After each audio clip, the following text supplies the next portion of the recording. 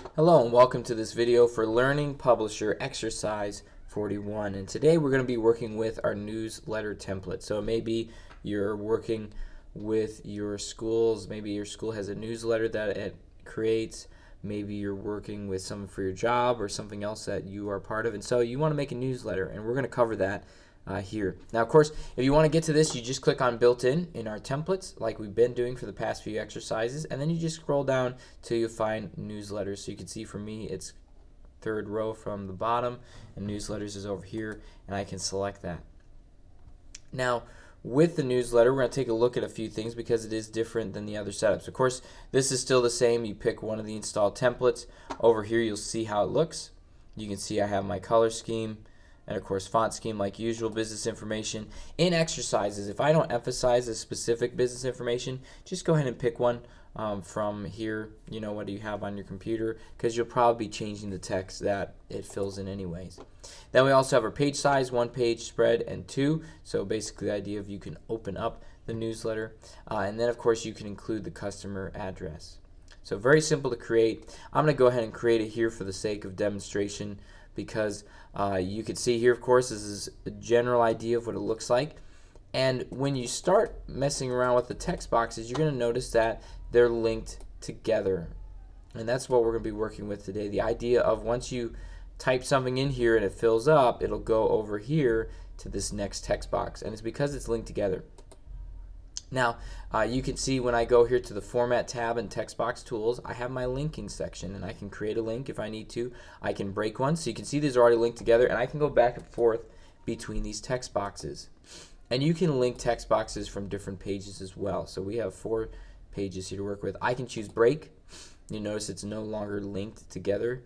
And if I select the text box, I can go up here. Oh, it looks like it says it's still linked to something else. Let's break that as well. There we go. Uh, so I had to select this one.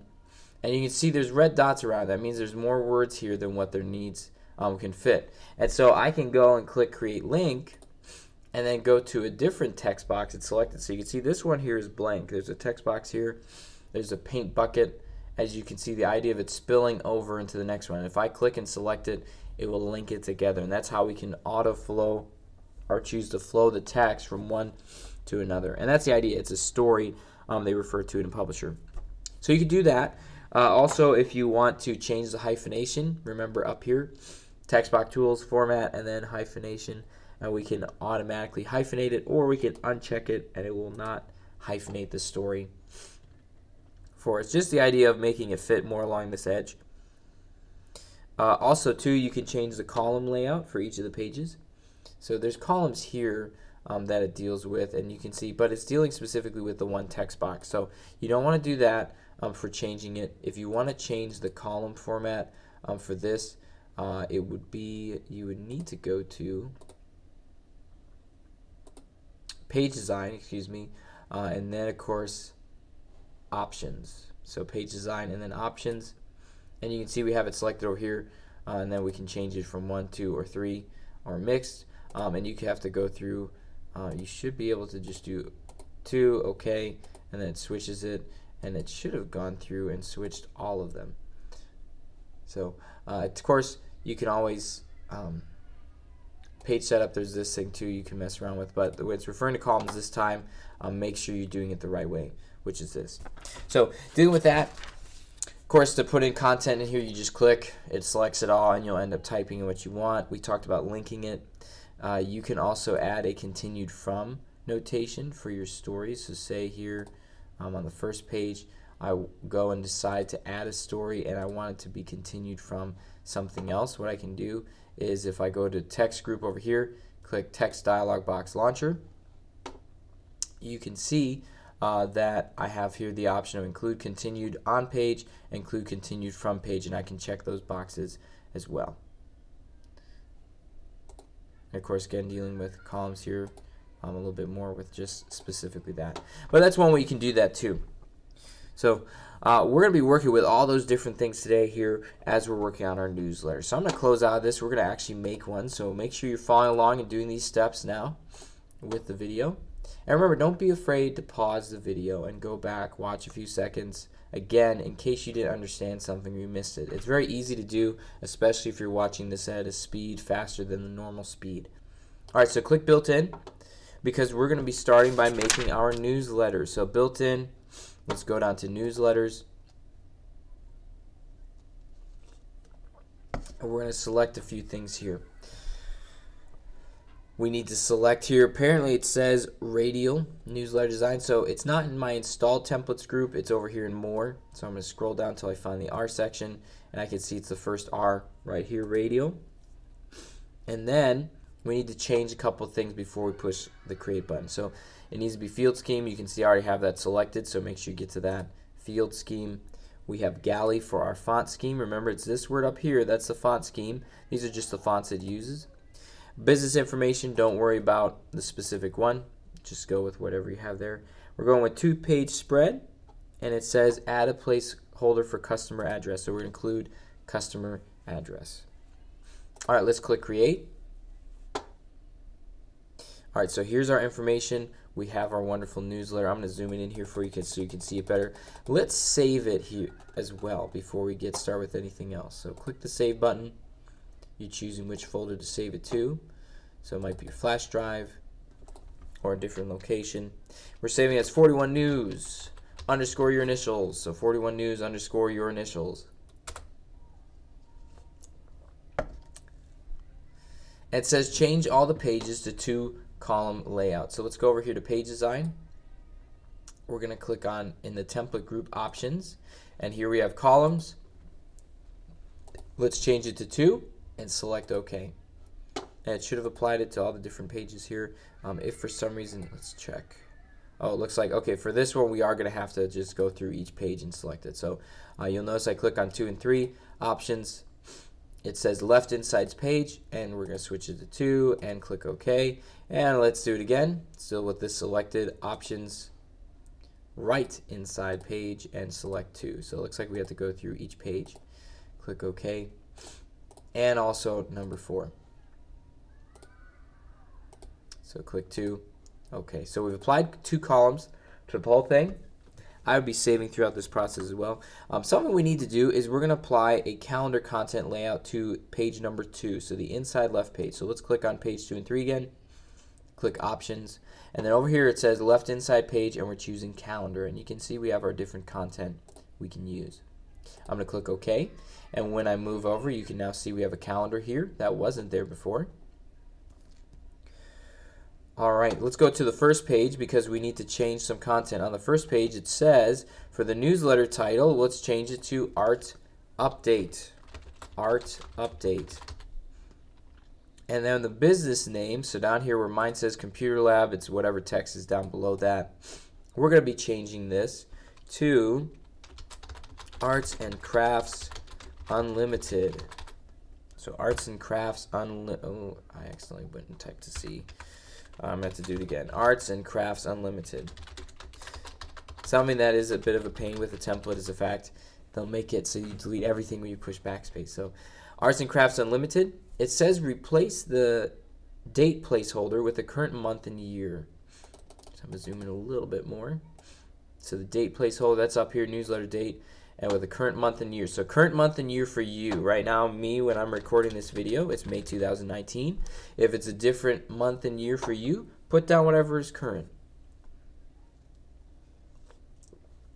All right, delete the following objects from page one. So we got to delete a few things. It says, first off, special points of interest. So over here to the right, we're going to get rid of that. I click along the outline edge here.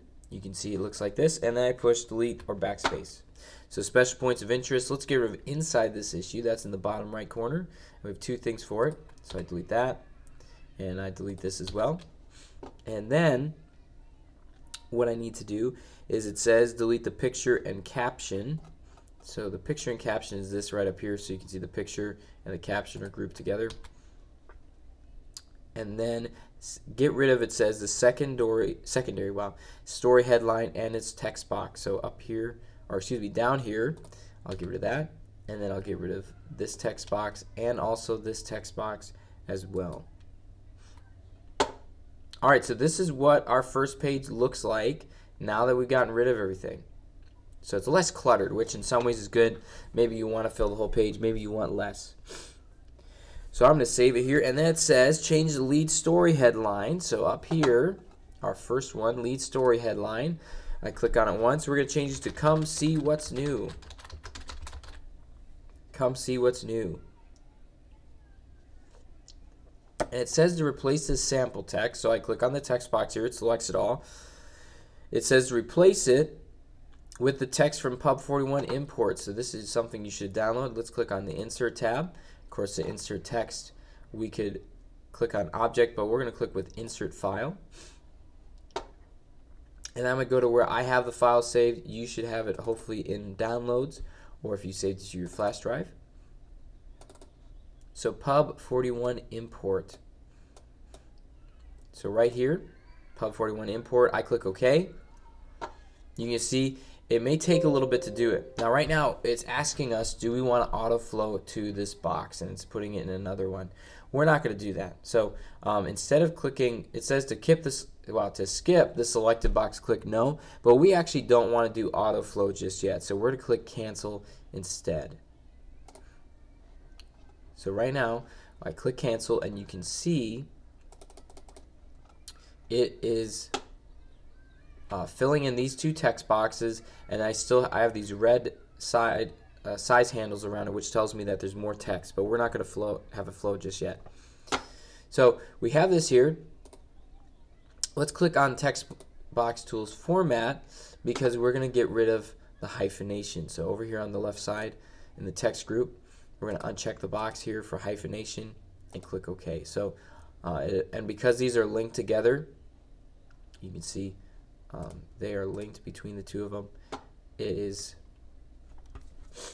uh, excuse me, it is um, filling in better. Sorry, I'm a little under the weather, so may have a few brain pauses here.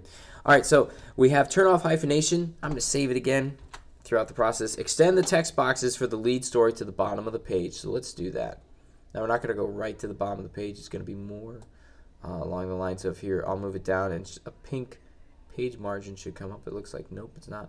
So I'm going to go to about the 10 inch mark here. So you can see how that looks. And then let's do that with this box as well. If I bring it down, more than likely the pink will come up for with the other box. Otherwise, yep, right here at the 10 inch mark. Now you can still see there is more text. There's those red size handles, and we're going to take that care of that in a bit. Um, but I brought down to the 10 inch mark on my ruler over here for the vertical guide. Or the, yeah, for up and down. Okay, so we have that.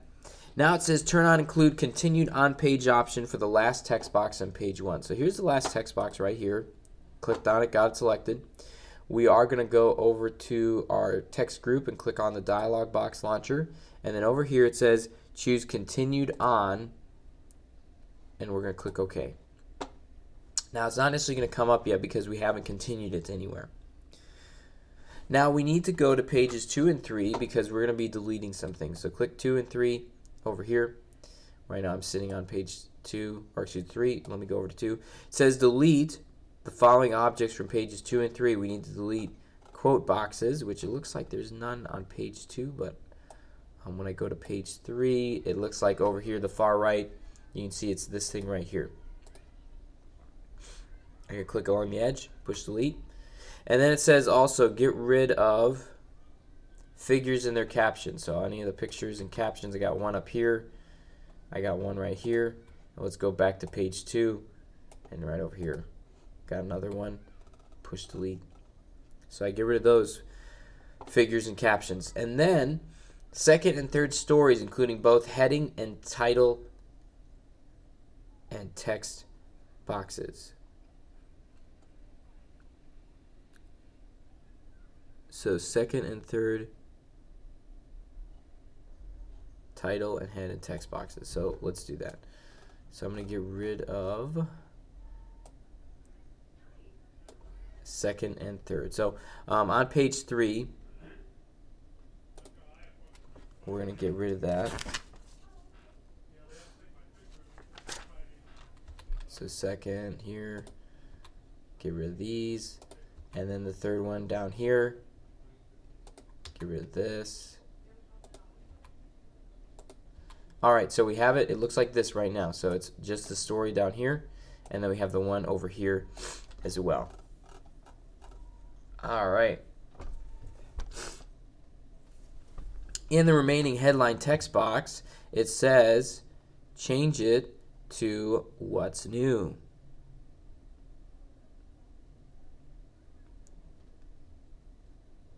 So now it's dealing with page number three that we're talking about. So let's go over here um, with this one, and we're going to change this one to what's new. I was making sure I was getting the right one. We may end up deleting the one over here later, but for now, let's leave it there. So what's new is the title of this one. It says delete the sample text and flow the story from page 1 into text boxes on page number 3. So let's get rid of this. And then what we're going to do is we're going to go over here and let's click on the second text box. So this one on the right. So I went to page 1, click on this text box. Let's go to text box tools, click format. We're going to create a link. Now we know that these are linked together, but we're going to link this one. So make sure you clicked on this box, click create link, and you notice we get this paint bucket now. That means it's going to spill over choosing flow. I'm going to click on 2 and 3, and I'm going to go to this text box right here, and you can see now it changes. It's got like that spilling cursor now. And I click on it, and you can see it's spilling now into our new story. It says to lengthen the text boxes so they occupy the whole page. So what we're going to have to do instead is let's take the what's new and we're going to move it all the way up to the top. So I was going to try to move with the arrow keys, but it's way too slow. So let's just move it way up here. Still try to keep it lined up on how far it is on this left side and keep moving it all the way up here. So about right here. And then let's lengthen those text boxes. So what I'm going to do is I'm going to zoom out a little bit so I can see almost the whole page just for the sake of making it easier. Okay, so um, first text box I click on here and let's move it all the way up here, the size handle. So I grab that middle one and let's move it up to what's new. And then let go. You can see the pink lines there. It's snapping to it. And then let's click on the second one and let's extend it here and bring it up. And there you go. You can see now it's filling the whole page. And it's all linked together. So if I push previous, it goes to here. And if I push previous again, it goes to our first page. So good job linking this whole story together. So we got all this. We got set up now. All right, so once we've done that, it says, of course, extend the text boxes. We already said that. And that says number 17 or excuse me step 17 you don't have to worry about the number. Uh, it says turn on include continued from page option for the first text box containing story continuation on page 3 so I'm going to click on this text box right here and let's go to format for text box tools. We're going to click on or excuse me we we need hyphenation. No that's not what I'm talking about. Right here. Um, dialog box launcher and we're going to click on continued from so include continued from and click OK. So you can see this says continued from page 1 and over here on page 1 we have continued on page 3. So these should be visible now because both of them are linked together. So good job doing that. Now it talks about, if you're reading the book um, that I'm looking at here for this exercise, it talks about we're going to edit the story in Word. We're not going to do that. It's much simpler to just edit it inside of the document itself. So what we need to do, it says from both lists in the story, make them, or excuse me, um, before we do the bulleted list, it says change the story text to Arial 9 point font and then return to publisher. So what we're going to do is we're going to go through these text boxes, select this text, change it to well, first off, we do need to select all the text in the story. So I click on this box, hold down Control and push A. Let's switch it to Arial. That's the first step we need to do. And I push enter and you can see it switches it. Now after I've done that, I need to go through and besides the title, don't select the titles, we're changing it to 9 point font. So I select the text, push decrease and it goes to 9. I go to this stuff, select the text, push the down arrow, it decreases, goes to 9 and you're going to go through your story and do that. And it looks like I got to do it again. You'll notice it's going to change sizes or it's going to change placement on you here. So make sure you're getting all the stuff with it. So it's funny, I almost, I'll select this here and change it down to Arial 9. And I kind of have to do that again with this right here. So you make sure you're getting all the text. Then we go to page 3. And we are almost done with it. So go through and do this now. And two, once I finish this, if you're still doing this, wrapping this up, then just go and click the pause button. So I gotta zoom out so I can see all of it here. There we go. Okay, and we're gonna go to here and reduce it to 9 and one more time here. So we're not changing any of the headings as you can see. Okay, and select this. There we go. So we got Arial, 9 point font for our normal text. And that says for the bulleted list, we need to change those. So there's one on page one, and there's also one on page three. So let's go to page one and change that. So you can see over here, this list, it says we need to change it to a bulleted list and set the spacing after the paragraphs to zero points. So let's select this text. And we're going to go up to here where it's like bulleted, bulleted list. I'm just going to push the button here and of course select one. Now you can see here we have these little hyphens, so you have to click in front of the word set, push backspace twice, and get rid of it. So I click in front of the word set, and get rid of that extra spacing. Then let's select this again. We're going to go up here to our paragraph group. We're going to click the dialog box launcher, and we're going to select here down where it says line spacing. We're going to get after paragraphs, this needs to be zero. So I'm just going to click here, backspace, zero, and push enter. We're okay. And it should look like this. And let's go over to the other page as well, do the same thing. So page 3, right here, here's our list under what's new. And we're going to go and change it to a bulleted list, as we said. Then let's click in front of these words, push backspace twice to get rid of the space and the hyphen.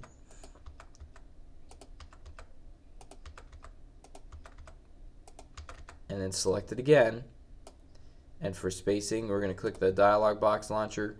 Click after, so after paragraphs, we click here, change it to zero, push enter, voila, it looks like that. All right, we're almost done with this first part. I know this is a longer exercise. I push save because I do want to save throughout. All right, we have a couple pictures to put in. We got print it. We'll be done with this part of the exercise, the first file. First, we got place 41 pastels JPEG on page 1. So let's go to page 1. Let's make sure we don't have anything selected. So I'm actually going to click along this side part, make sure nothing's selected on the page. Click Insert and choose Pictures. You're going to go to where you saved your pictures. So I'm going to go to where I have them. Uh, yours is more than likely in downloads if you download it from online. And we need 41 pastels, so it looks like this. Now there's a few things we want to do. Number one, we got to shrink this thing down a lot. a lot. so I'm going to be making it about, I'm going, I'm changing it down here. You see I grabbed the top left corner and I went to about the five and a half inch mark on the ruler. So it's about this size. Uh, and then let's, it pretty much just needs to go along here So you can see it's set up like this. So make it about this size. Set up here so you can see it's about two inches um, long. And then let's go over to page number three. We need to insert 41 loom on page three. So again, I'm clicking along this side here. You don't want to accidentally insert in one of the text boxes. Click insert pictures. That's the thing. If it gets rid of your te text and messes it up, um, then you need to change that. Push undo and fix it. All right, 41 loom is what we're selecting. Click insert and then what we're going to do is we're going to put it uh, along the side as well. So let's reduce it here. I'm going to bring it down to about where the 12 inch mark is for right now. Because you can see, um, even with our text here, it doesn't fill up. Let's check. So it looks like we're covering our text box. Let's try moving it down here to the bottom corner. Okay, so it looks like this size is pretty good. Um, and let's put it, we're going to actually go and let's put it in the bottom corner. over here. So it's going to look like this, and of course your text goes to about right here. All right, I'm to save it. You do need to print PDF, but here's the thing. You only are printing pages 1 and 2. So make sure for pages, you got 1 through 2. You should have Microsoft Print to PDF selected for the printer, so I'm to switch that over. And then we're to choose print. You're to save with the same name you've been doing for this file, so 41 news underscore your initials. So 41 news underscore your initials. All right, that's the first file. We're going to make one more newsletter here before we're done, and this is where you get to choose more of what you're doing. So I'm going to click close.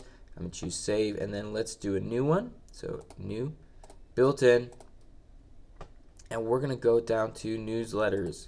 Now what you're going to be doing is you're going to be making a newsletter about your favorite subjects. Okay, a newsletter about your favorite subject. I want you to choose which type of template you go with. So pick something different. And then also um, choose a different color scheme, choose a different font scheme, business information, of course, you can basically go with what you have. I would change it to one page spread and don't include customer address. Okay. Click create once you've selected those things. Now here's what you're going to need to do. You're going to create a newsletter devoted to your favorite subject. Let's save it here and then I'll give you more instructions about it. So save it, of course saving it to your flash drive, to whatever folder you need to. And then we're going to be naming it here 41 my news underscore your initials. So 41 my news underscore your initials. Now there's a few things it's telling us to do. And I'm going to go and in Microsoft Word I'm going to type a list up here for you to see of the things that you need to add to this because I'm not going to go through it with you. You already just I already showed you how to do these steps here just a little bit ago. So for this one, you're going to need to, if I can bring this up here, there we go. All right, first thing is you're going to have to write a few articles. And make at least one of them wrap to a later wrap to a later page. So just like how we did. Now, if you want to find an article about the subject online and copy and paste it, that's fine by me. So rather than you having to write an article about it, I would pick the subject. Now it needs to be one you are taking here at school. Find an article about it. You can copy and paste it as opposed to having to write one. Okay, because you don't want to take too long with this. Then also delete placeholders for any items you don't use. Oh, yeah, for items you don't use. Select and insert clip art and or photos that complement your article. In other words, it should be something that fits with your topic, not just a random picture. Okay. Then, uh, what you need to do is after you finish putting those things in, go ahead and save it and of course submit it. Okay, so these are the different big things you need to have here. Pick your subject you want, write a few articles or copy and paste them, make one of them wrap like how we did, delete placeholders for the items you don't use, and include clip art.